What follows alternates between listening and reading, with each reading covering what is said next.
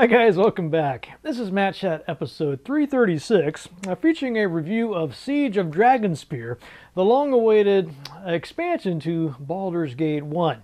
Now this game fits in between Baldur's Gate 1 and Baldur's Gate 2. It's Baldur's Gate 1.5 basically. And if you're a fan of the Baldur's Gate series, it's definitely something you should check out.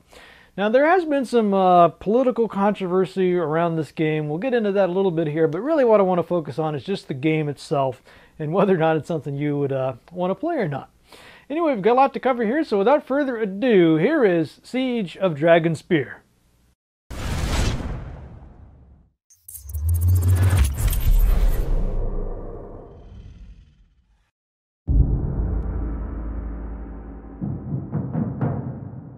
Only weeks ago, the malevolent Sarevok brought the city of Baldur's Gate to the edge of destruction. You, like him, are a child of Bhaal, the dead god of murder. Bhaal foresaw his own death and sired mortal children in an effort to bring about his return. Sarevok intended to become the new lord of murder. You put an end to Sarevok's plans and slew your half-brother. With his passing, you became known as the hero of Baldur's Gate. Now, a new threat casts a shadow over the city. A massive army on a holy crusade has thrown the Sword Coast into turmoil. Little is known of the Crusade's leader, the charismatic warrior Caelar Argent. Those who follow her revere her as the Shining Lady, but her background and goals are shrouded in mystery. Some say she is divine, a hero sent by the gods to crush evil no matter the cost. Others whisper that she is another spawn of Bhaal, intent on following the same path as Sarevok. One thing above all else is clear. If the Sword Coast is to find any measure of peace, Caelar Argent must be stopped. And if that doesn't get your hamster excited, I don't know what will. This is Baldur's Gate 1.5 Siege of Dragonspear. At long last, as you probably know, Baldur's Gate is my favorite CRPG series. I consider Baldur's Gate 2 to be the best CRPG of all time, so of course I was very excited to play this game by Beamdog. Huge questions though about whether it holds up to the legacy, whether they might have overdone it a touch with the social justice stuff. I'll get into that later, but for now, I'm just glad to be back in the world of Baldur's Gate. Pick out an awesome looking hero here. Let's see, which one of these guys looks sexy enough to... That's it. Yeah, that's the one. Okay, now I have to pick a race. We've got African American, Asian. No, I'm just kidding. The standard races, standard classes with a few nice touches and class kits. It's been a while since I played the Baldur's Gate series, so I'm not quite sure what's new and what's was already there in the enhanced editions, but uh, I really like this idea of a jester. Know, it just appeals to my personality, I guess. Okay, get a quick roll. I got really lucky there too with a total roll of 90. Man, I could have rolled that, uh, rolled these dice uh, for an hour and not gotten that, and I got it right off. So this seems kind of a, a good sign, right? Uh, let's see. I think those stats look pretty good for a bard. I'm not really interested in maxing, min-maxing, that sort of thing. I just want to have a good time here. It's okay. My character doesn't have to be perfect. Now this is the part of the game that's kind of screwed up, because you don't really know what would be the best weapon to be proficient in because you haven't played the game yet and you don't know what items are in there. You just have to trust that there's at least one awesome everything in the game somewhere. So if you want to specialize in longbow, that seemed like a pretty safe bet. Longsword seems pretty safe. Halberd or Bastard Sword, though, who knows, you know? You might go through the whole game and only find a plus one. Now I get to pick out some spells, and of course I want to think about this guy's a bard. He's not a standard mage, so that will have some uh, impact. Normally I wouldn't pick out something like Burning Hands, because I keep my mages well out of harm's way. But this mage uh, should have some better armor. He should be a little closer to the front line. He might actually get to use some of these things. Uh, plus, I think the Burning Hands will be useful because I happen to play this game a little bit and I know there are lots of trolls. And trolls won't die just by hitting them with a hammer or a sword. You have to burn them up. So, burning hands will be useful. Uh, picking out some other spells here. I really want to get Ghost Armor. It seems to be a useful spell to me. It's better than the uh, armor you can wear. And I like the uh, these reflected image type spells, which will basically keep you alive if you do happen to get in into the thick of the battle. Uh, the problem with all the uh, these uh, Infinity Engine games is, of course, the AOE's are very hard to control. And you'll see when I get into the game here, man. It's like your characters, they just love it to run right into the middle of your AoE. They see you casting a fireball, man, they are right there at the spot. But I'll try to work around that limitation. I've always been leadership material. Weird thing here, I'm trying to pick my voice, Being a hero is hard work. Time to rest. and I don't see a male jester. I just see jovial. They had a female jester. Where's the male jester? I don't know. Maybe it's the same thing. Uh, now we have to pick a difficulty level, and to tell you the truth, I think the game is uh, hard enough with normal. Uh, the core rules, anything harder than that to me just seems designed more to frustrate you than anything else, so I just stick to, to uh, normal. Sarloc's dead. Everything's a mess. We should have gotten out of the city days ago. No chance of that now. But Korlasz knows what she's doing and... Hey, did you hear that? We'd better tell the boss. Come on.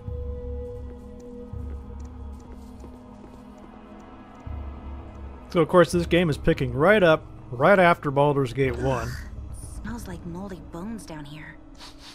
Bones and evil. That is the stench which Minsk sniffs. Ah, Minsk. Well, here we are in a creepy old tomb again.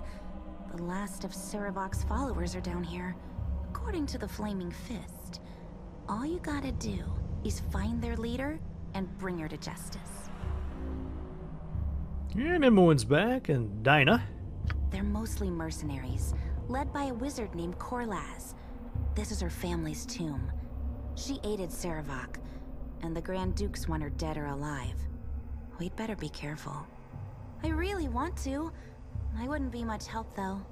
Ever since I asked Duke Jannath to teach me how to sling spells, she's had me cooped up in the stuffy old library, studying boring books about the weave.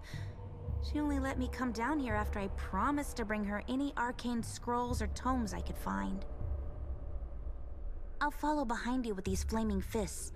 If you need help with anything, just ask and I'll do what I can. There's a healer here too. Talk to her if you need any bandaging. She also knows all about fighting undead. Tymora shine on you. Not that you'll need it. I can't tell if they assume that the people that bought this game would already be familiar with Baldur's Gate. It seemed like they've got some information in this intro that would be for noobs. If that's you, if somehow you've never played Baldur's Gate 1 or Baldur's Gate 2 and you're trying to play this first, what the hell are you thinking, man? Don't do that. Go play Baldur's Gate 1, and I would say play Baldur's Gate 2, and then come back to this. That's my advice, anyway.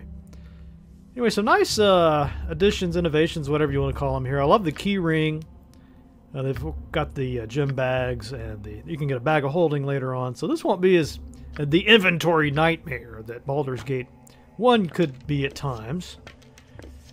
Uh, I'm going to go ahead and give my uh, Matt Radius. Love that name. Awesome name. I can't use that bow for some reason. I guess. Oh, it's a composite longbow. I'm too wimpy for the composite longbow. Magic is impressive, but now Minsk leads. Swords for everyone. Ah, Minsk. How could you not like Minsk? Is there somebody out there who hates Minsk? Don't even don't even watch my, my channel. Alright. I think we're good. I might tweak these spells a little bit here. Whoa, she's got a... You know, this is why you really need to check out your party before you jump into things. I mean, all these empty slots. Put some spells in there. Not sure if she needs armor or not. I think she might already have some bracers. They they pre-equipped your party. Problem with that, of course, you have to go in there and make sure that they're reasonably well equipped. Sometimes the designers seem to want to screw with you. Like, why the heck does she need Fire Shield? Let's see. Monster summoning. Seemed like a better choice. Ooh. I guess I'm not quite ready for Cloud Kill. That'll be fun with this uh, AI nightmare. Entanglement. That's a good choice. And let's, uh... You know, I'm almost wondering if Flame Blade might be a good choice for her, but... Um, before I was getting poisoned so much, I'm almost leaning towards just focusing on that. I'll get this zone of sweet air too, more to more to clean up my own mistakes than anything else. Okay, I think we're pretty good to go. Now the question is, can I rest here? I'll try that a little bit later. I think I don't think I'm going to get attacked right away. So. Let's talk more fight. Exactly. Why are there horse blockades here? You're too late. It's already gone. Aren't you here for his sword? I thought... I would not be standing where that mage is standing, I can tell you that. I've said too much. All you need know is that not but death awaits you here. Turn back now while you still can. Yeah, I bet a lot of people took his advice and just quit the game right there. Checking out the journal.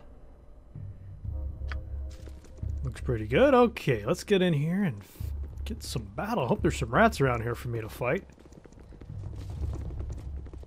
Uh, let's see, who is this? Three drops of lemon balm oil. Mm-hmm. A half pinch of powdered silver. Appears to be a lunchroom lady. Okay, who are you? Is she in league with Korlasz? Getting a decent variety of responses like that. I am a researcher, I swear. The, the leader of the group here, um, Collage. Yes, I know her. I supplied her with some rare books in exchange for entry into this tomb. Oh, I am creating an alchemical concoction to reveal magically concealed writings. Uh, a mercenary was supposed to guide me further into the tomb to find the component I'm missing.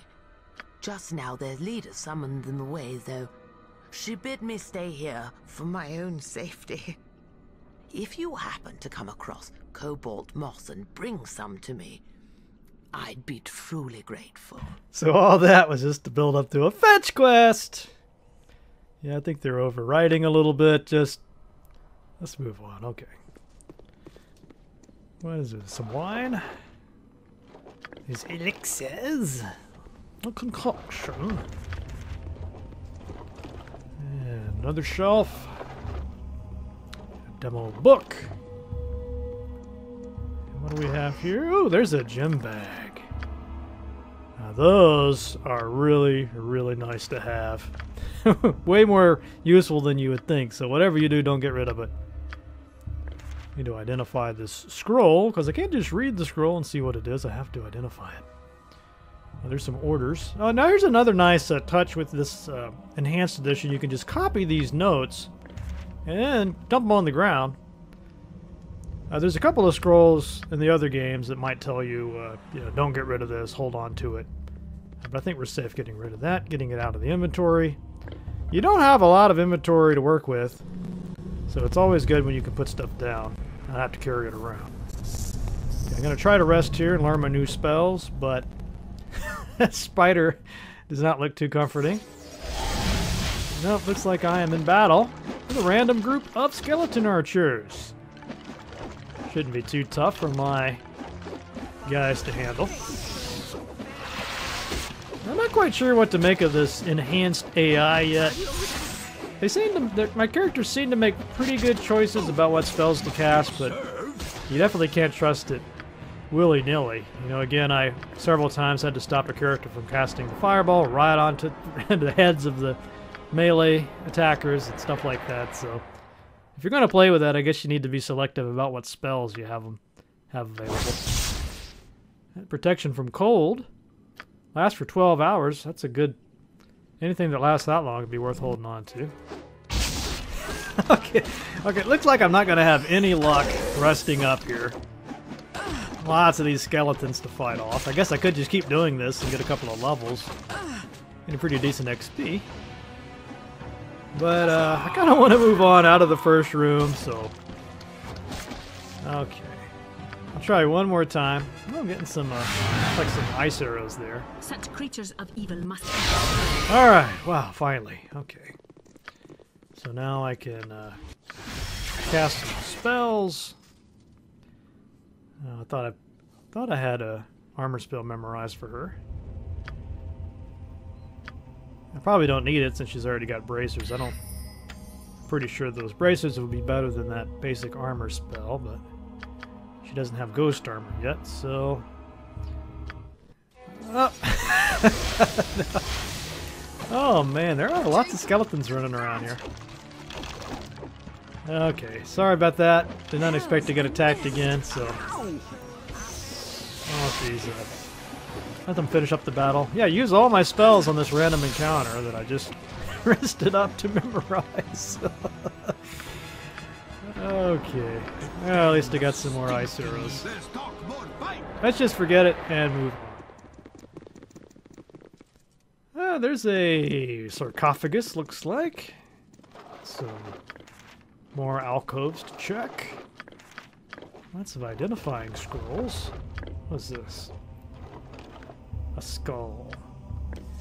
I never know in these games whether to just get rid of the skull, try to sell it, is it a quest item? Sometimes it'll tell you, you know, don't get rid of this, it's important, but sometimes it won't, especially if it's an optional puzzle.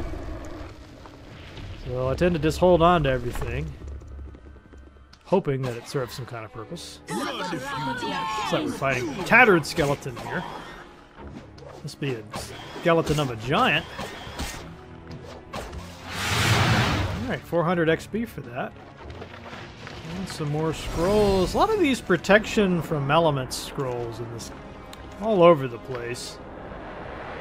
Uh, later on you'll get, or if you played uh, Baldur's Gate 1, you should have some scroll containers.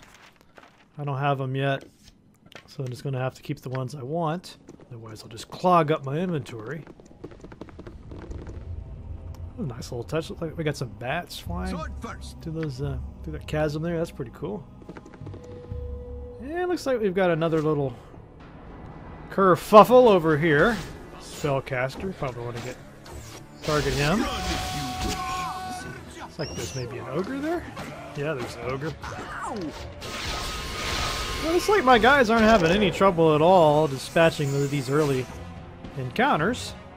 Of course, the thing with Baldur's Gate, and it's very true for Siege of Dragonspear as well. Don't ever get cocky. Away and you might survive this. Run away!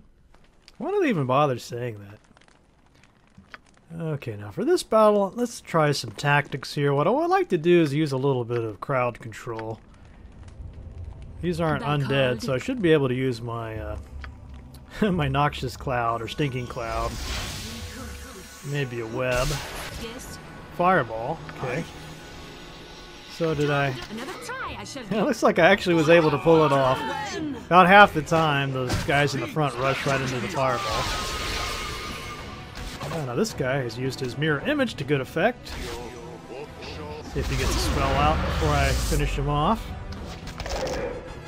Sometimes if they cast a confusion or something like that, they can really screw up your otherwise flawless victory. It's not the end of the world if your characters die. You can resurrect them later, but it's a big pain. You probably just want to reload instead. What is this? Cloak of Minor Arcana. This is like a pretty good cloak, but I don't want to have to get rid of my armor and THAC0 bonus, so I guess I'll just hold on to that for now. And uh, it looks like they put this stuff here. I guess if you don't like your layout, you can change up your armor type. It's not really very good stuff. Some ammo, that's a good, good idea to have that here. And get another longbow for Khalid. Uh, I guess looks like he's slowed. Anything else here? It's like just basic stuff. I could try to lug all this stuff and sell it later, but I don't think money's usually not that big of a problem. Yes, dear. yes, dear. Yeah, that's not gonna get annoying after about the thousandth time you heard her say it, huh? This chasm sure looks deep. Do you feel warm air coming up from below? I do. Wonder what's down there. Don't put your nose under the blankets. That's my advice. You? Yeah. So we've got another sarcophagus scenario here. It's gonna pop out this time. Go ahead, pull him out. I wonder if these NPCs will join the fight. Benegamoron. Benegamoron. Banganoron. Whoa, now this guy's not playing around. Looks like he's already got Minsk diseased. Whoa. It's going down quick. There must be some kind of disease with a damage buff on it. And he's still losing health. I'm going to have to try to cure that. Pretty sure Jaheira has a cure disease, but I think she's uh, currently running around. I lost myself. It won't happen again. I uh, promise. Come on, Minsk is dying. To fight off. Oh, whew. All right. Get rid of that. All right. Oh, wait. All right. Whew. That was a little tougher than I thought. Yes. Without even thinking, I hit the uh, the rest button there. That was probably dumb, but I guess I got lucky. All right. Now we can put her armor spell on. Forgot to do that earlier as well. Uh, looks like it wasn't necessary though, because her bracers are just as good as the armor spell. So don't. Let's talk more We've fight. reached the catacombs. Watch your. If you need some advice on dealing with undead, the Flaming Fist healer might be able to help. She's a priestess of Lathander and knows a lot about how to deal with restless spirits. What's the big deal? You flipping whack them with your weapons. Yes, dear. What is it? like you need all this uh, advice about killing a skeleton. I, I don't know what I'm missing there. Maybe should have gotten the advice.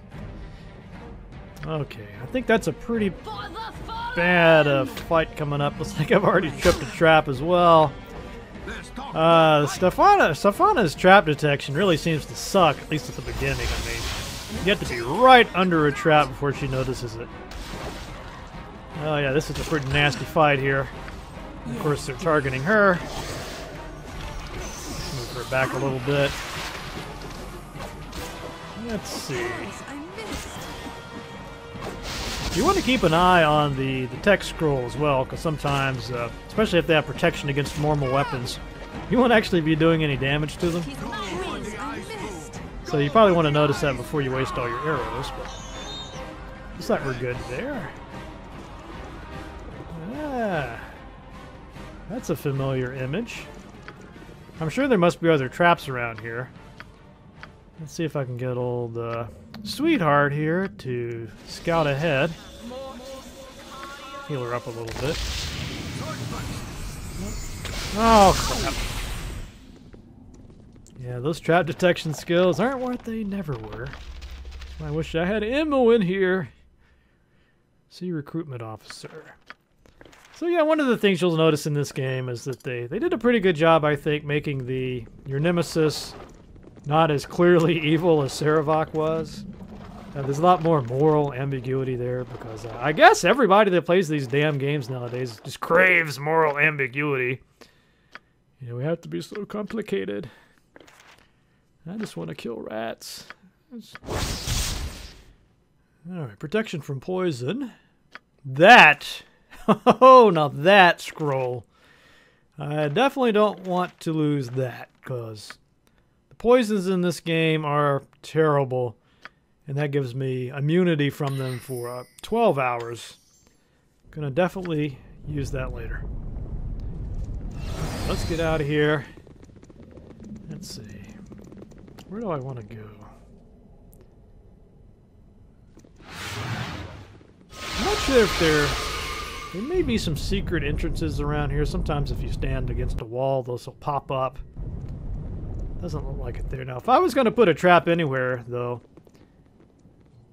I would put it on that bridge. Let's see, having, having a little, some mouse issues there for a second. Let's see, a cascade of boiling lava. Okay, there's another group of undead. These look like zombies or ghouls and ghasts. Let's see what spells I have available. What I really like to do is uh, hit them with webs and then just put everybody on archery duty. Just pick them off one by one, but that can be pretty tricky to, to do because, again, if you don't aim it right, you'll just ensnare your own archers. And then they're sitting ducks. I think I got a couple of rings and a resist fear scroll. Want me? Right. Trying to detect these traps before I trap them. Uh, she seems to have some trouble in that area. I definitely want to raise up her uh, flying traps skill as soon as she levels up. I would plug it had I the power. There are just traps all over this place. I guess I, I heard a click, but I guess that one... Oh, she saved versus spell. Whew. And let's see, grabbing up all this jewelry. There's another one of those skulls. what is this, Halo? Uh, splint mail. Let's see if old Matt here can use his lore skill. So that's a nice little trick. If your lore skill is high enough, you don't have to waste one of those identify spells or scrolls. Uh, let's see, what's the matter there? Wand of Fire. Very, very useful wand. Probably one of the best ones in my opinion, because uh, that instant fireball, uh, that can really turn the tide in, in a battle. I just want to show you this. So this is one of the game's puzzles. So you can see there's these uh, different colors of flame. And you can uh, find a torch here and change the colors by going over there to those flames. I'm, I'm not going to spoil the, the puzzle for you, but... Though I can see in the dark, I still prefer the surface. I like those little touches like that. Man, I just cannot detect a trap to save my ass. Take it like a champ. Alright, here's some more. What are these things? Shadows. Uh, they're doing cold damage, looks like.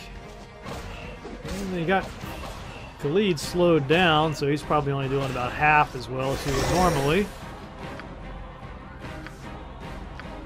You know, some of these battles, uh, they do feel difficult in that you might be doing fine one second, and the next thing you know, somebody's hit with a, a hold spell or gets poisoned, and they, they die before you can really react. Uh, but overall, it, it, feels pretty good, the, the combat balance to me. You definitely will be doing some reloading, but I don't think I have reloaded as many times with this as I did with the first Baldur's Gate. Oh, that was a nasty little trap. Let's see, looks like I've learned some, got some new spells here. Always love adding spells to my spell book. Another, another really nice innovation. I'm not sure when they added this, but that red diamond on the interface, uh, that will bring up the this row of uh, item slots. Right. And if I get close to loot, uh, those will fill up, and I can just click, click, click. You know, add it to my whatever the active character's inventory is.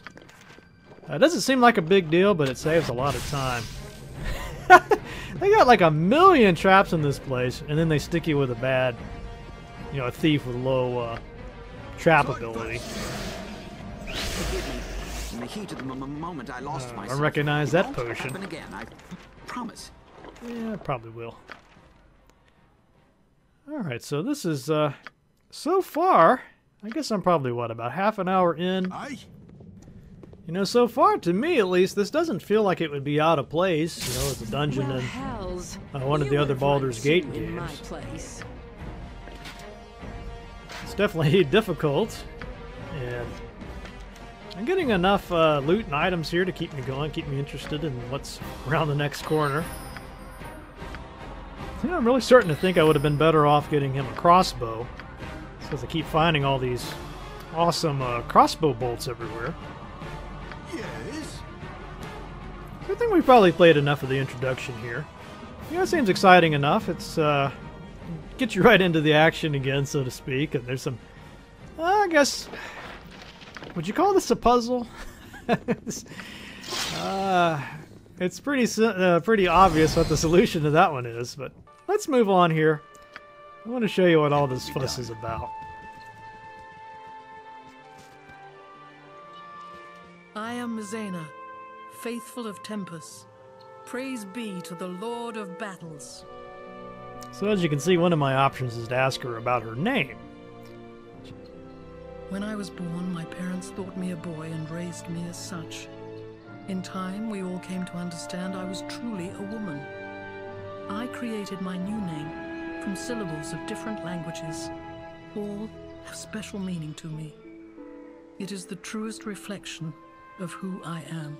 So you notice I don't have a dialogue option that would be disapproving of her story or some kind of anti-transgender comment I could make, anything along those lines. So basically, some people felt like that was just a little too politically correct. And of course, there's another line. Uh, they had Minsc saying some kind of Gamergate reference. Uh, they took that out. A lot of this alleged fury is really about things that aren't in the game, but were discussions from the developers and stuff in the media. Uh, so if what you saw there doesn't really bother you, I don't think this is going to be a big deal for you at all. So, moving on.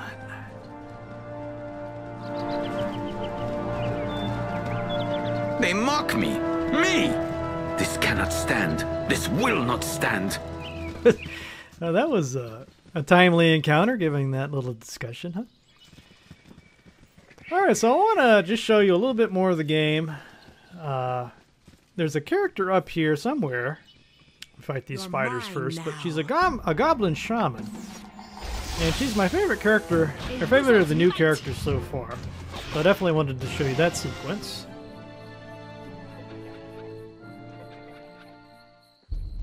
Come one, come all. See the cream of the Sword Coast's combatant crop. Witness the brilliant and bizarre battles in the black pits of the one and only Baloth the Entertainer. Gather in the gallery, my gallants. Tis time for another test twixt two titanic terrors in Baloth's blackest pit yet. Fate favors you fortunate few who witness these feral foes in a furious fray. First, I give you the wild wonder of the Western Kingdoms. Wise men say only fools rush in to face the Wolverine.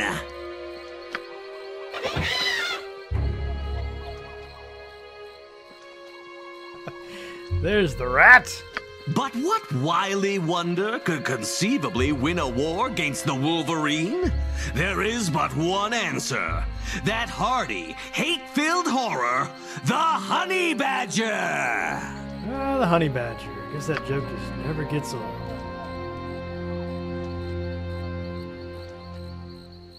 I bid the battle begin!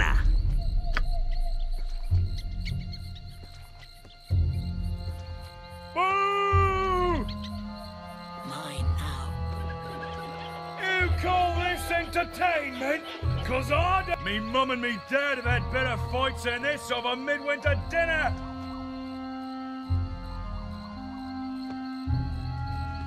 Where's the blood? Where's the furious... Patience, my peculiarly profound patrons. The primitive play you propose will be presented. Do I know you? I love the, the meta humor here. Pretty sure I killed you once. Ah, it's moderately mortifying to see you again. But the past is past, and these people pine for a performance. And so I give you the Goblin!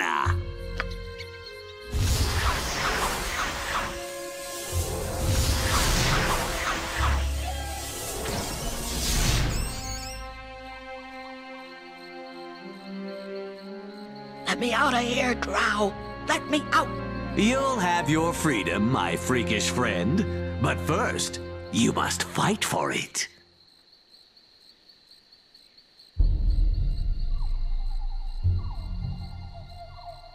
Maglubiyet take you, Night Skin. Let me out. Silence, you simpering scullion.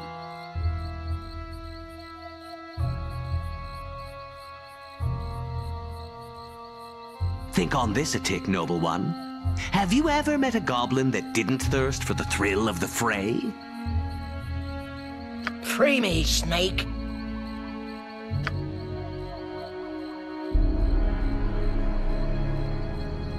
Recognize your role, you repellent wretch. I am the entertainer. I speak. You watch and applaud. Or remove yourself if you'd rather. I cannot concede to such contemptible, nay, criminal coercion.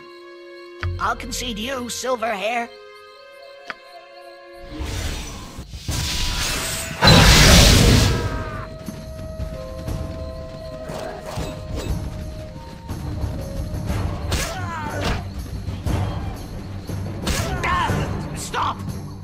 Surrender! Cease this spectral assault! I give up!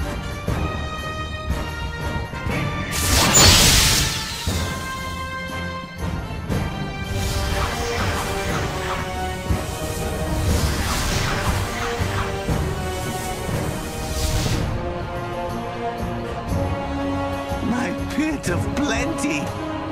Pauperized! Made pitiful by a pernicious porcupine of a goblin! What a woeful waste! My guess is Chris Avellone must have had something to do with all with all of this scenario here, because you really see a lot of his trademarks here. Uh, I think you're really delving far more deeply into this concept of the alignment uh, than you do in other parts of the game. I mean, you can see how both of these characters, in their minds, they're acting perfectly, you know, in line. They're doing the right thing, so to speak, but they're uh, the results are quite spectacularly the opposite.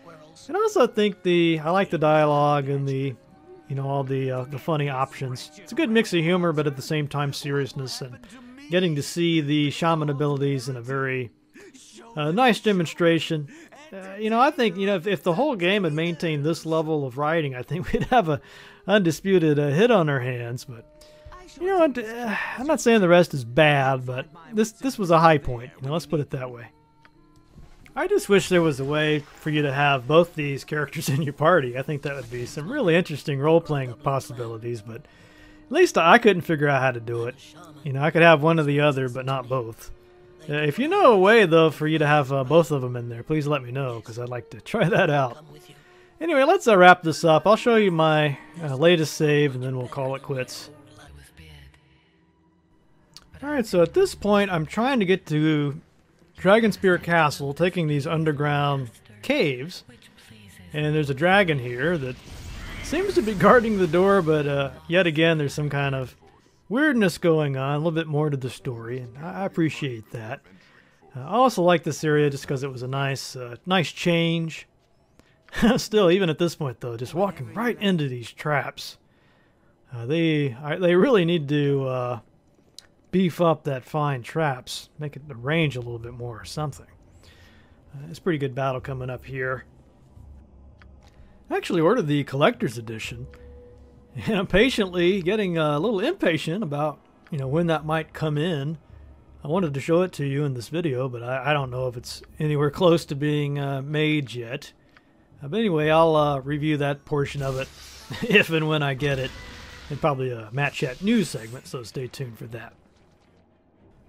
Anyway, as always, I'd love to hear your thoughts on the game. You can just sound off in the uh, YouTube comments or on Twitter or Facebook, however you want to uh, to do that. But I'd like to hear your thoughts. But anyway, there you have it. Baldur's Gate Siege of Dragonspear at long last. We're playing Baldur's Gate again. Uh, so you gotta love that, if nothing else.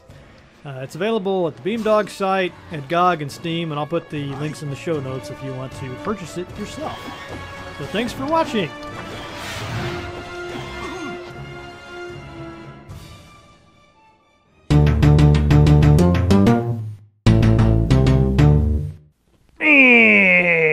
That's all for this week's episode. Hope you guys enjoyed that. I should be back next week with the first part in a new a series of interviews with Mr. Julian Gollop of XCOM fame. Uh, now, as you might know, the video got screwed up on that, but the audio is fine, and I'll, I'll do my best to make it interesting to watch as well. Anyway, you definitely don't want to miss the interview because he really covers some interesting stuff in there. All right, let's see. Oh, uh, as always, I want to thank you very, very, very, very much for your support of the show. Really means a lot to me, guys. You have no idea. I just really appreciate uh, your help. Uh, you know, you're keeping these episodes coming. Uh, if you like the show, you want to support it, just go to that link in the show notes to the Patreon site. And there, for as little as a buck a week, a buck an episode, you keep these episodes coming, and there will be zero danger of Matt Chat ever being canceled. So, uh, thanks to everyone for your support. Okay, let's see. What about that news from the Matt Cave?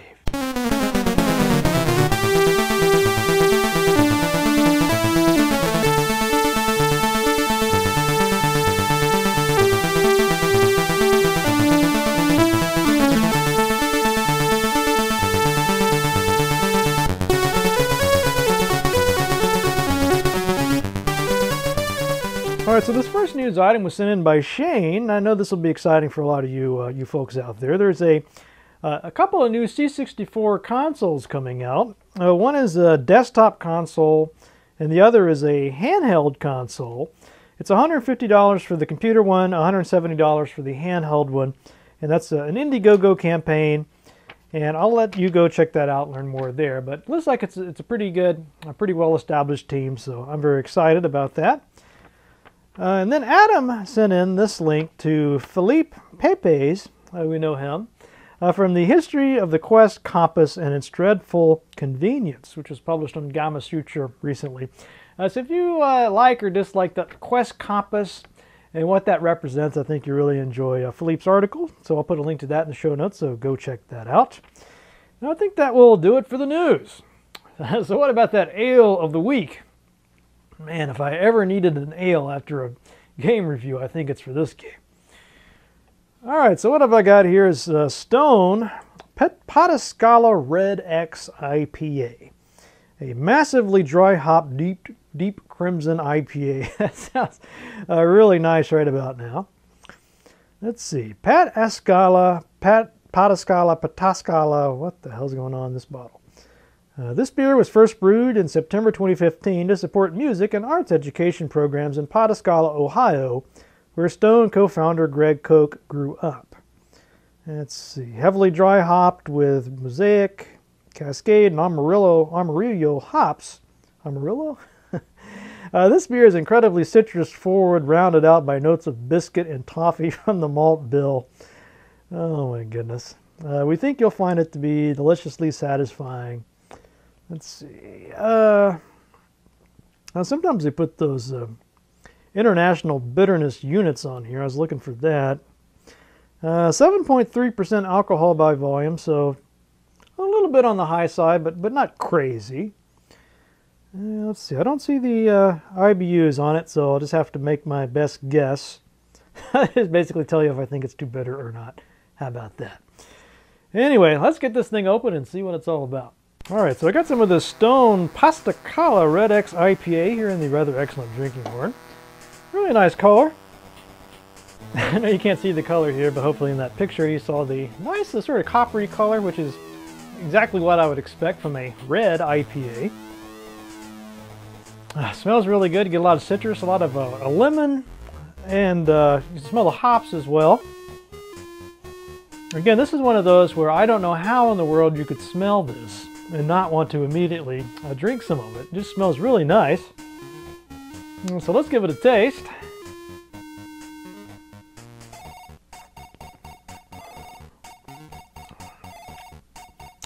A really nice body on this one. Uh, this one is very sort of thick texture. Uh, you get a lot of that hoppiness, uh, hoppiness right away. A little bit of a, a smooth kind of malty finish, I would say, on this.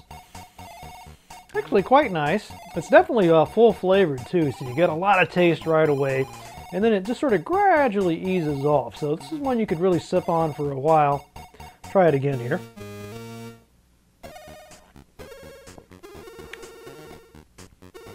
Yeah, a really good taste on this. It's, it is a little bit on the bitter side. Maybe just a little bit more bitter than I would uh, prefer, but you know, I guess I shouldn't be drinking uh, IPAs if I feel that way about bitterness. I'd say the, uh, uh, the description on the bottle about the, uh, the citrus, what they call it, a citrus forward or something like that, uh, seems pretty accurate. I mean, that's what I taste right away is the citrus. and then the hoppiness, and then the kind of a malty uh, finish on it. It's actually uh, quite nice. I'll try it one more time here.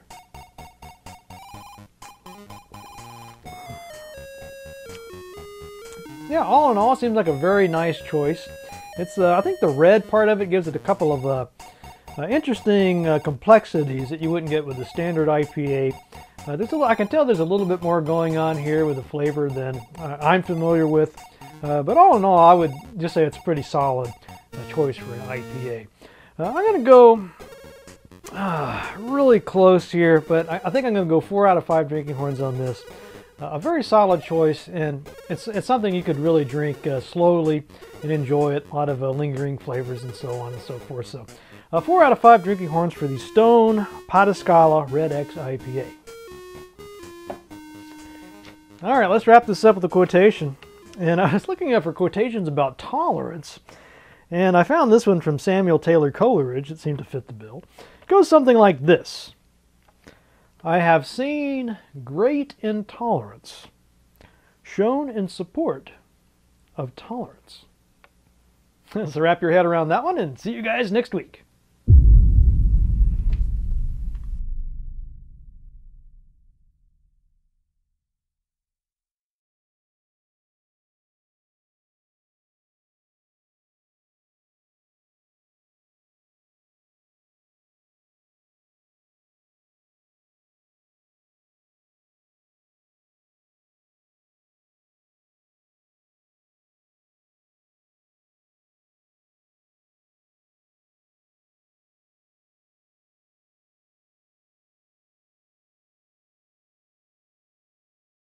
Now, the sort of person we're looking for is an aggressive, drunken lout with the intelligence of a four-year-old and the sexual sophistication of a donkey.